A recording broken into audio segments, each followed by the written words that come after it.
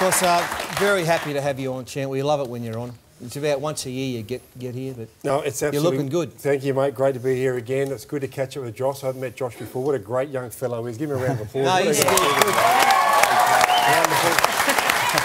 it's a, it's a real. Uh, it, it's it's like a real wave has come over the game, hasn't it? With this with this round and uh, so many people doing wonderful things all together. It's it's. Yeah. I mean, it's very nice. It's like it is. It's momentum is gathering, and Josh, we saw the great story he did with Erin last week, but. Um, it's, it must be sad to be leaving. I mean, the Bulldogs fans, they're filthy. Not on you, but the fact that you have to leave. I mean, it's pretty sad, isn't it? Yeah, as we saying last week, it was, it was, it was, it's been tough, you know. Um, something I thought I'd never have to do.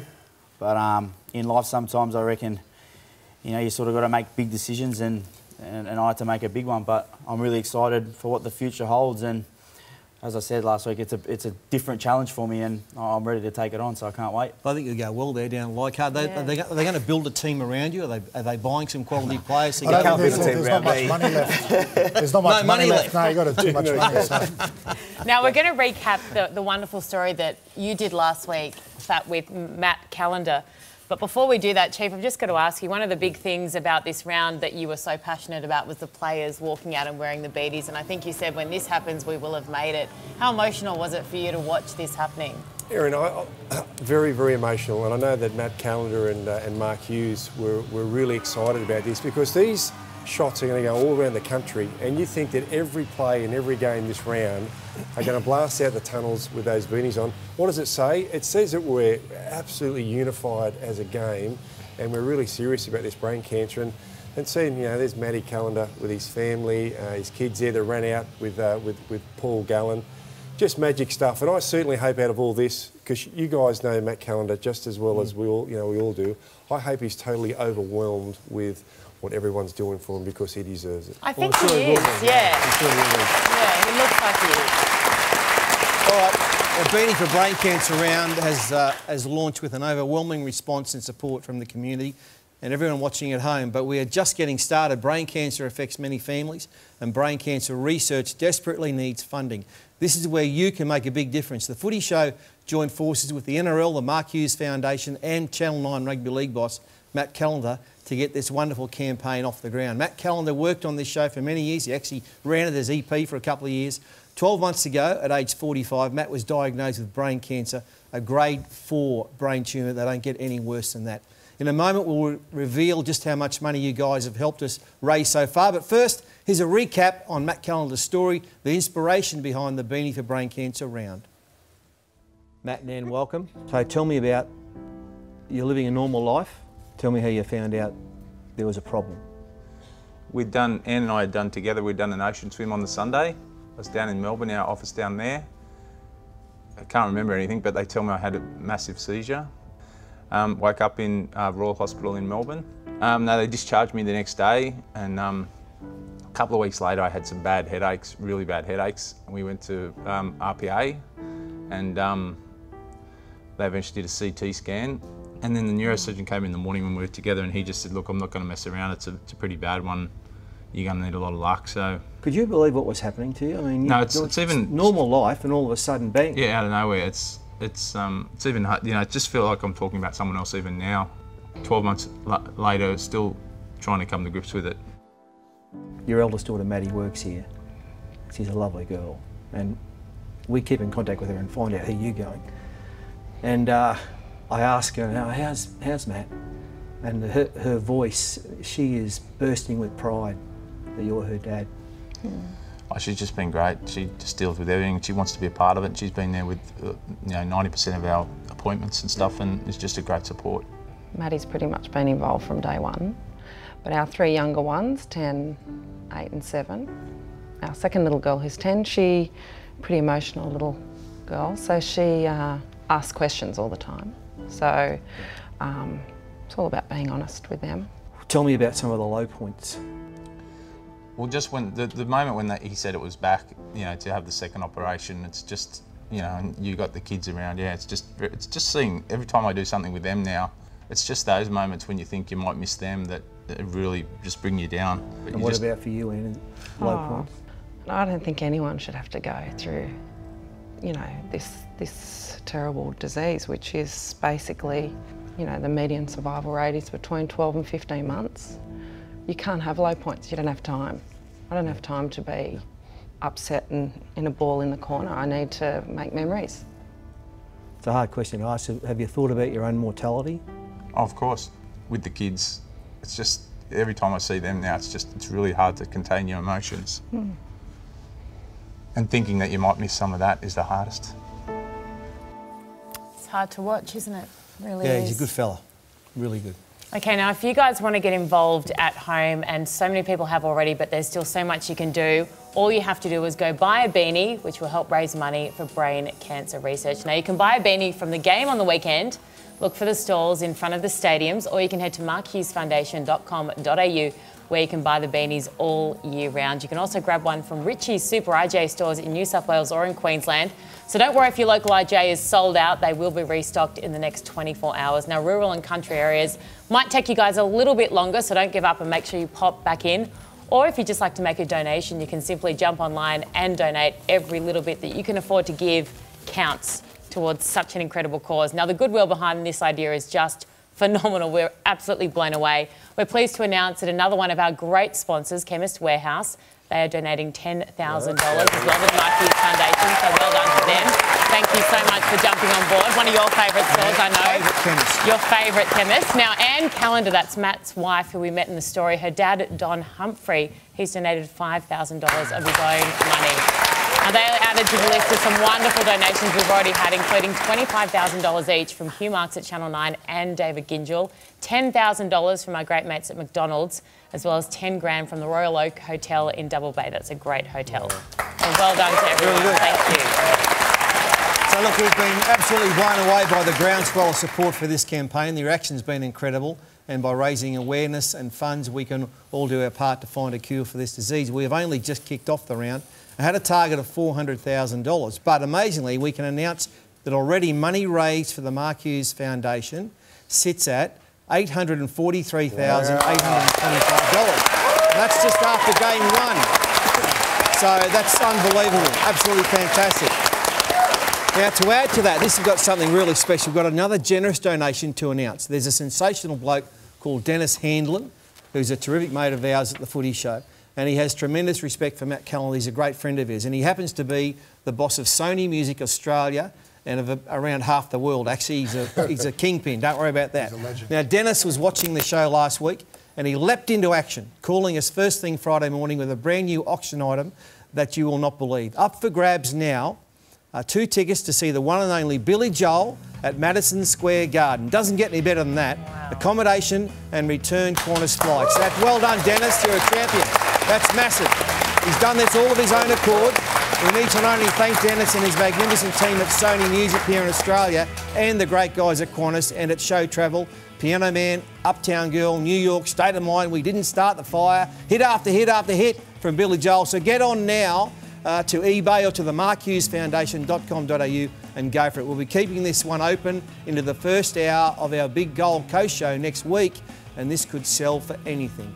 Absolutely brilliant. Well done, Dennis. Thank, thanks to him and Sony. I love Billy Joel. Freddie's out there at the ground still. He's got Matt Callender with him, Mark Hughes, Paul Gallen, and hopefully we'll get Jonathan Thurston as well pretty soon. Come in, Freddie. Hello, boys. What about that 843,000? There was 4,000 Bernie sold tonight while we're standing out the front. It has been an absolute success. We'll talk to Gal straight away because he's got to head off and sing the team song. When they came to you about wearing the beanies before the game, what was the players' response? Yeah, we jumped straight on board, obviously, and um, you know, terrific cause. And over the past couple of months, we sort of hit the shire a little bit with uh, you know Brett Kamal, his wife passing. He was only you know a few years older than myself, so really hit the, the club hard. So we jumped straight on board to to help out the foundation. And now yesterday I posted a picture on Instagram, and a guy messaged me back. You know, his young daughter. Um, passed away only a few weeks ago, mate. I was almost in tears. She, she would have been eight or nine years old at most. Uh, her name was Caprice. So, mate, if you're watching out there tonight, you know, dedicated a win to her and, you know, also uh, part of this cause to her as well. You know, it's a terrible, terrible thing, a, a, young child dying from this disease. And anything we can do to raise awareness for it and raise money, we'll ride on board. And, uh, you know, th- thanks very much to everyone who's helped out and, and well done to the foundation for doing Thanks it. on the footy show, mate. You've been enormous. Well done, the effort tonight. Thanks, mate. 800 and 43,000. So uh, overwhelming, mate. It's incredible. It's just going to continue the great work he's, he's done with his foundation, and I think we're really going to make a difference. We're going to take a huge step to finding a cure, which is just fantastic. And as Gal said, every club, as soon as we asked them, we're on board. And it was just fantastic to see so many people wearing beanies here tonight. Can you tell us about the sequence of events that got us to this being around in the NRL? Um, not long after my diagnosis with brain cancer, my first operation, um, I'd known Mark and Paul Harragon, the chief, who's back in the studio for a long time, and I just wanted to make a contribution. I spoke to Mark about trying to have an idea, and we went and saw Todd Greenberg and his team, and straight away they were on board, and every club has been on board, and every player, which has been fantastic. Fat man. Yeah, Matty, you, are actually you're on this worked on the show for a long time. You're actually EP for a couple of years. Have you got great memories of working on the show with such amazing talent? I haven't met a harder worker than you, Fat since. Please. do you miss me? I do miss you, champ. You're a great oh, man. Yeah. I miss you on the rugby league especially, and we hope to see you back there soon. But Mark Hughes, I want to ask you a question. All this money that's raised, it's, it's obviously going to help in the future. Um, how exactly, where, where do you, who decides where the money goes? Have you thought about that yet? Absolutely, Fat. And yeah, we have a scientific committee that make all these decisions, and we're gonna we're gonna put on a full-time researcher um, who's an expert in brain cancer, full-time, take him away from seeing patients and putting him full-time into full research. And the way we've blown away this $500,000 figure, we should be able to look at maybe putting on another one or or extending this guy to five years so we can really get serious on on getting this research sorted out. Well done. We've just been joined by Jonathan Thurston. JT, you've been a, fan for a long time. Can you tell us about your experience with the Mark Hughes Foundation? Yeah, I've uh, seen uh, Mark's story a, a, few years ago on uh, one of the footy shows, and um, you know I was really touched by it, and um, got in contact, uh, donated uh, some jerseys and uh, boots and things to raise awareness and obviously raise funds for uh, brain cancer research. So, um, been involved for a few years now and um, will continue to do so. What was it like the players when they were wagging the beanies on before they were running out? Yeah, no, they were all good. They were, you know, uh, no, nah, not at all. They were all uh, fully supportive of it. Um, when I spoke to the boys last week about uh, doing it, uh, you know, every player jumped on board, and uh, like Matt said, every club's been outstanding as well, uh, jumping behind this, and you know, that's the power of rugby league. Um, we're making changes with brain cancer research, and that's what we need to do. Right, one of Mark Hughes' best mates, the chief. G'day, boys. And uh, I was going to say, JT, mate, you've been an absolute inspiration in everything you've done so far for the Mark Hughes Foundation, mate. Just amazing what you're doing with the boots for the auction item as well. But Matty Callender, I want to ask you, mate, from just a thought in your head about this concept about round 11 and now finally seeing it happen and the boys run out in the beanies, just tell us a little bit what's going through your mind. It must have been amazing it was totally amazing, Chief. I've never felt so, you know, just so proud of that of the whole rugby league community. Just when the players ran out with the beanies on, and to, to, you know, and we sold out of we sold out of beanies at the ground, which was, you know, every everyone coming in, people are buying 10 and 20 beanies, and I tell you what, it's what you told me, mate. It's it's why can't we find a cure now? And I think just with this money and the work he's doing with his foundation, why wait to find a cure? With this money the rugby league community have raised, we're truly going to make a difference, and I think we will find a cure. I really believe you. Well done, Matty. Excellent work. Hey, JT, just one before we go. Uh, all Queensland wants to know, you'll be right for Origin 1? Yeah, should be right. Thanks, mate. Sweet. Good on you, champ. all right, you're all done great work out there. Thanks, Freddie. Thanks to Matt Callender, Mark Hughes, and John Thurston and Paul Gallen. Nice work. That, that's a great way to kick off this round. Um, you know, we're all fighting so hard and, you know, I said might not be able to help people right now, but it's, it's for the future. It all really that money is. and obviously the research is going to take a long time, but with the funding, uh, talked about the Professor Mark Hughes, and hopefully we can get that done. That's what it's all about. Wouldn't that be incredible? Yeah. And there are, of course, other ways that you can give money to help in this incredible cause. There are three other auction items. Now, there's only three days left to bid on them, so make sure you check them out. We've got JT's signed boots from the Gade where he scored point number 2,000 in round two of this year. Now, so hang on, is that because you can't say Yep, 2,000? correct. oh, you say it. You can't say 2000th. it. See, exactly. You've got What, a list, you can't say it. Okay, now, so how good are those boots? Now, the next auction item is Okay, I think they're up to like six or seven grand or eight grand already. So you, you can certainly get more than that for something like this. He's a future well, the bloke's immortal, going to be an he? immortal, so it'd be good to have his boots. 100%. So make sure you bid on those. For every collector, even if you're not a Cowboys fan, you don't need to be. He's an absolute superstar. Now, there's also been a lot of interest in this next item. Now, this is a fantastic NRL Grand Final experience. Win a table for 10 in the Immortals room, a pre-game tour with an NRL ambassador of the team sheds before the game. That's exclusive access one. right there. it Yeah, is a good one, it. Bowie. That's the best Now, your favourite team's jersey you also get and an experience of a lifetime on the field with the pre-match entertainment. Now, you cannot replicate that. Mm. The auction is available on eBay. Make sure you go check it out. Okay, I think it's sitting at around 12,000 or something now, so you can totally do that. Okay, the P&O Cruise. Three nights in an ocean view room. The Great auction room. update for the P&O Cruise is around 1,500 bucks. That's a total steal. It includes all meals, entertainment activities, and accommodation. So make sure you jump on that. And Chief, this is the cracking one. This is the big money money ticker item. Yeah, no, this is really, really exciting. The the amount of great blokes going on this uh, trip is just phenomenal. We've got the Johns brothers, the Gidley brothers, you've got Danny Buderus, you've got Adam MacDougall, you've got Malcolm Reilly, just about everyone ever played there in 97. It's wonderful. So there's two seats available thanks to Flight Centre and Wild Spirit Adventures. And it'll be a trip of a lifetime. Honestly, uh, two things. You, you're going to donate money to a wonderful cause, but you're going to have a trip that money can't buy. So if you want to uh, join some, some really great blokes, including Mark Hughes himself, taking that track up there, please donate or auction on that one. I think I think it's around about 30,000 at the moment. I know. So that's really great. Thanks so much who's bid on that so far. Okay, well, fingers crossed it goes even further than that. Okay, now tomorrow on the Today Show, Tim Gilbert will be live from 5.30am at Bronte Public School where Matt and Anne Callender's kids go.